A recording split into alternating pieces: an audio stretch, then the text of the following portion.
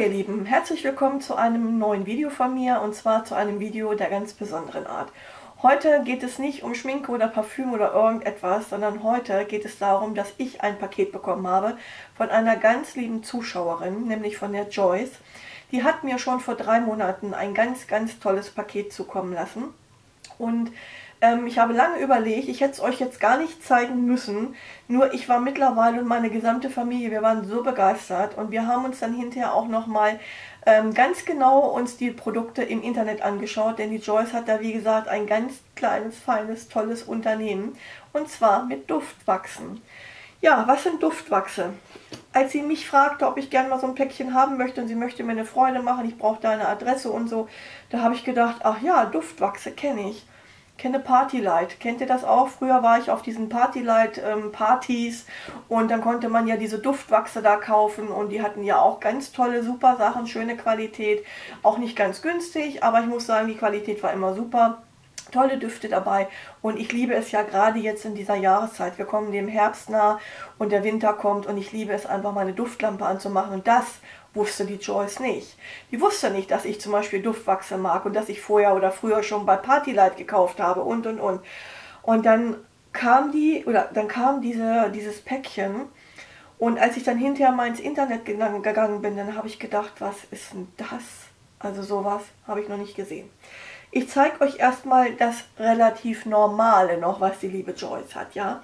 Ich fange mal an mit diesen kleinen quadratischen Würfelchen. Ich nenne sie einfach mal so. Ich halte sie mal für euch in die Kamera. Die kommen in so einer Kunststoffbox und die kann man dann abbrechen. Und die kann man aber auch nochmal teilen. Ich muss dazu sagen, ich bin im Internet fündig geworden. Ich habe natürlich mal gegoogelt und ich habe auch mal bei YouTube geschaut und habe Beautiful Fragrances eingegeben, so heißt nämlich die Firma. Und wen finde ich da? Den Christian Materne von HSE24.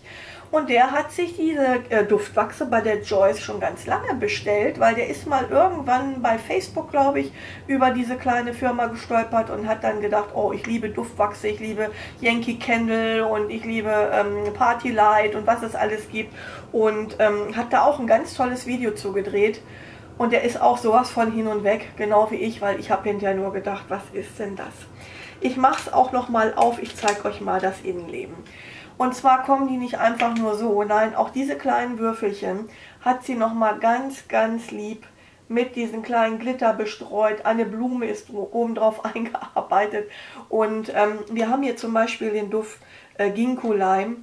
Das ist ein ganz, ganz wundervoller ähm, Duft, der so ein bisschen dieses Gräsern, also ich finde, wir haben in der Familie lange alle geschnuppert und jeder hat ja was anderes gerochen. Kennt ihr das?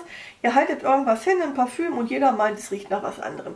Ich habe dann hinterher gesagt, das sind so, also dieses ähm, Ginkgo Lime, finde ich, hat sowas ein bisschen, ähm, was Frisches, ähm, ja, frisches, ich weiß nicht, ob es Zitrone ist, möchte ich nicht behaupten, aber es ist was Frisches. Und der Ginkgo, das ist ja auch nochmal sowas, das so ein bisschen beim Parfüm sagt man so hölzerne Noten oder sowas hat. Hier was ist, ist ein ganz, ganz wunderbarer Duft. Ähm, ihr müsst mal schauen, ich halte es auch noch mal so in die Kamera, damit ihr mal seht, ähm, wie diese Firma geschrieben wird. Und ähm, Genau, so sieht auch die Internetseite aus. Ich versuche euch das mal mit einzublenden, weil ich, wie gesagt, so begeistert davon bin aus folgendem Grund. Sie macht die Sache alles, also die macht diese Sachen per Hand. Das sind ganz exklusive Handarbeitsstücke, ja. Das ist nicht irgendeine große Firma, wo da die Maschinen da runterrennen und da werden auch nicht irgendwelche synthetischen Düfte verwendet, sondern die macht so ganz natürliche Düfte rein. Und ähm, es sind wirklich ganz, ganz tolle Produkte.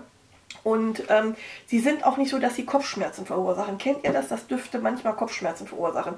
Gut, ich hatte das bei ähm, Partylight auch nicht und bei diesen hier natürlich auch nicht. Ich sage immer, wenn man hochwertige Sachen kauft, dann hat man es nicht. Ähm, hier habe ich zum Beispiel Carib Caribbean Escape.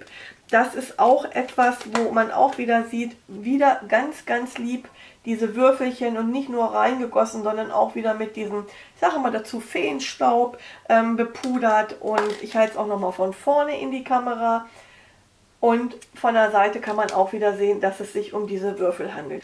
Ja, und dann möchte ich euch mal diese kleinen Becher hier vorstellen. Ich halte sie eben mal in die Kamera. Das sind so diese typischen kleinen Cent-Shots.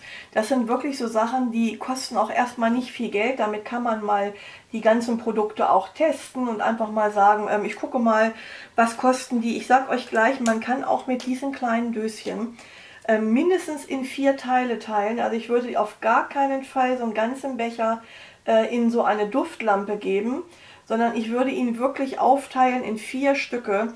Das reicht allemal, weil die Düfte sind sowas von konzentriert und intensiv schön. Also nicht überladen. Ich sage jetzt nicht, dass sie so intensiv sind, dass ihr sagt, es erschlägt euch. Nein, aber die sind gut konzentriert. Das heißt, man hat wirklich einen schönen Duft, einen langanhaltenden Duft im Raum.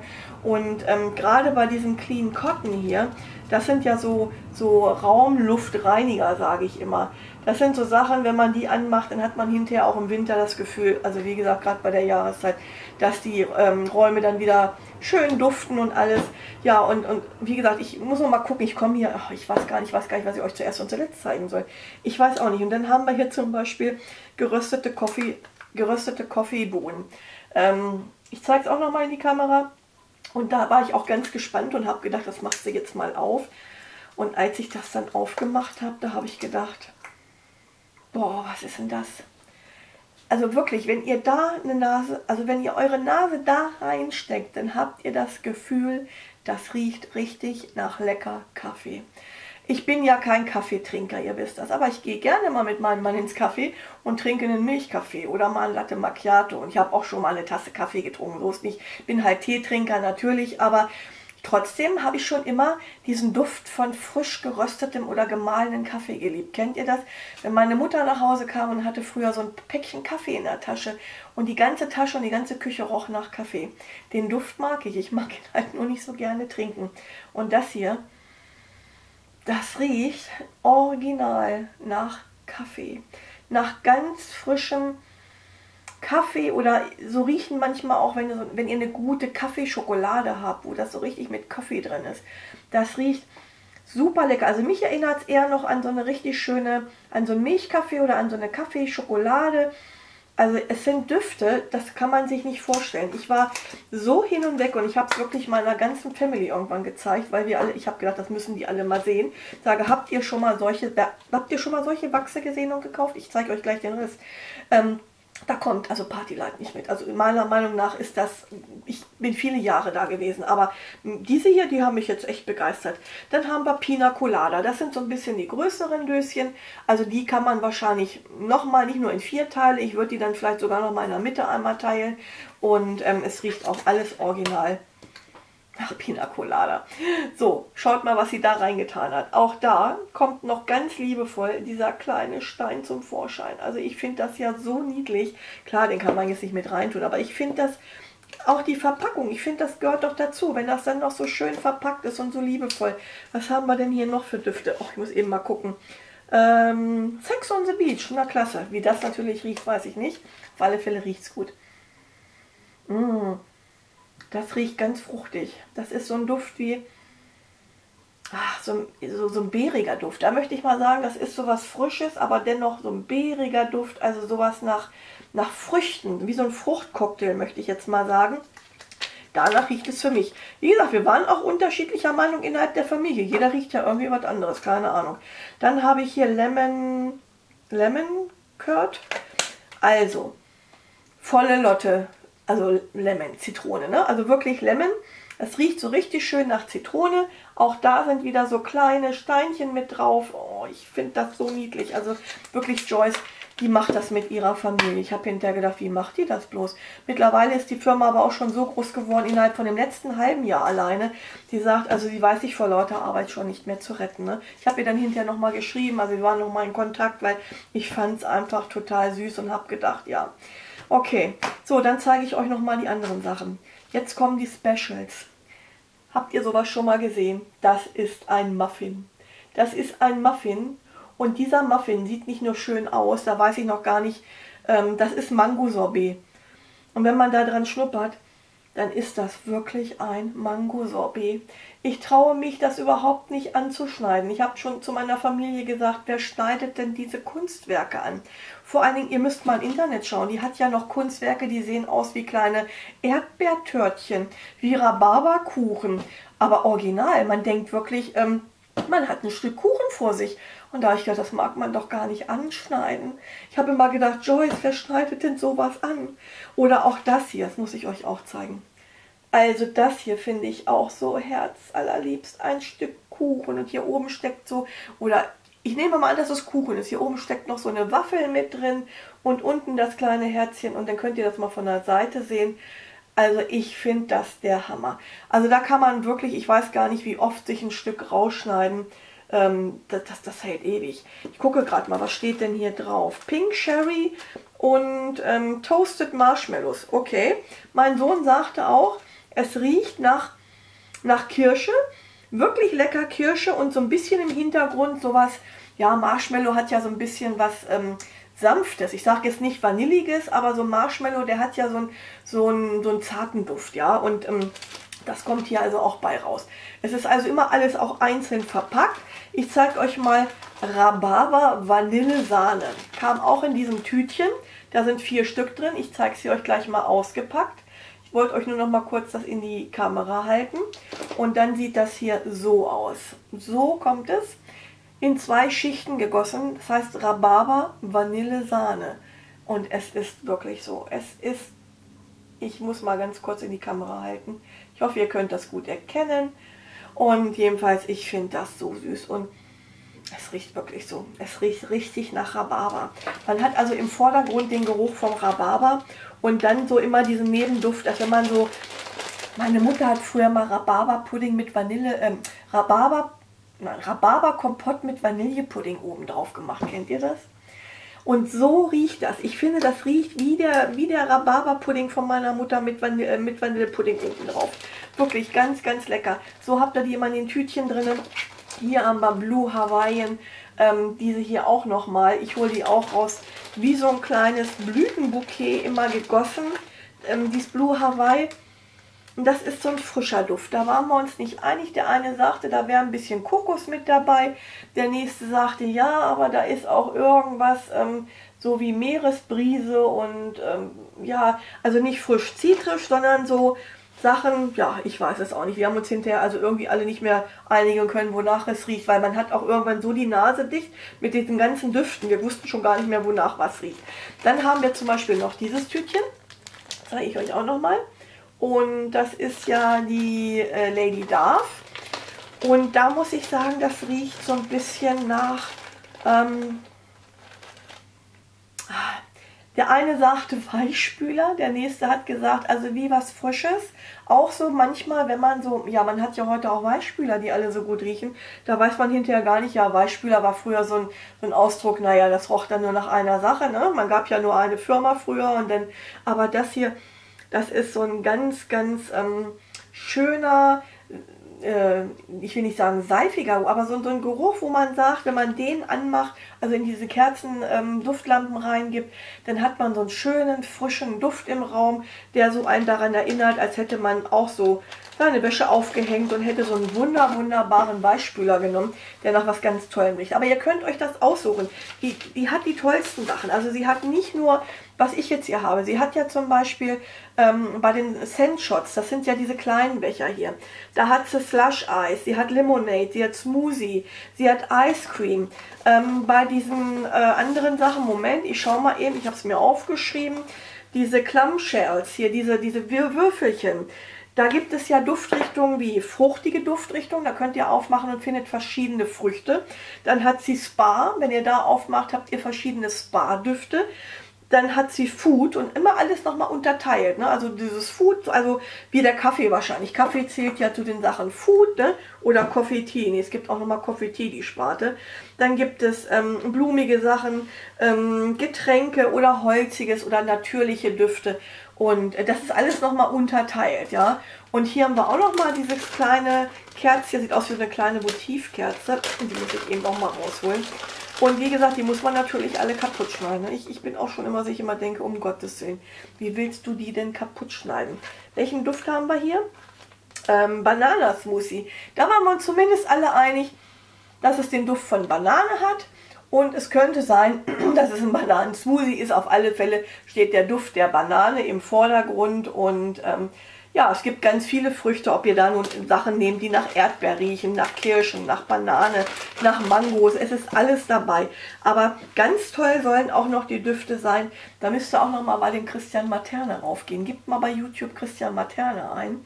Christian Materna. Ich werde einfach mal seinen Kanal bei mir unten in die Infobox mit reinsetzen, den Link, damit er den auch findet, weil nicht, dass jeder, nicht alle wissen ja, wie der geschrieben wird.